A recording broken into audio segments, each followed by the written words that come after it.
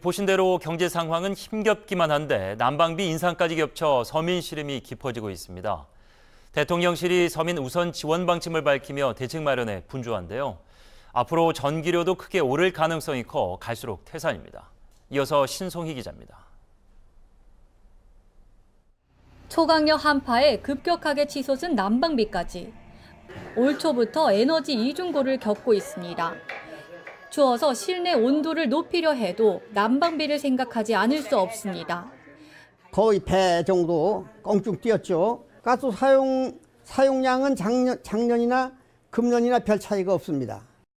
실제로 한국부동산원 공동주택관리 시스템에 따르면 전국 아파트 제곱미터당 평균 난방비는 2021년 12월 334원에서 지난해 12월 514원으로 53.9%나 올랐습니다. 산업통상자원부도 1년 사이 민소형 가스요금 자체가 1.5배 이상 뛴 것으로 파악하고 있습니다.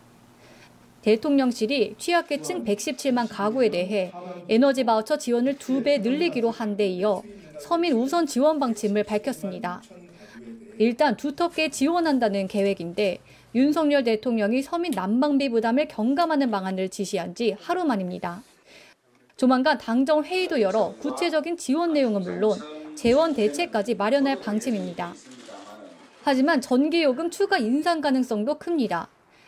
1981년 이후 최고 인상폭을 기록했던 전기요금이 떠오르면 난방비 인상에 이어 서민 생활에 또 다른 부담이 될 수 있습니다. OBS 뉴스 신성입니다.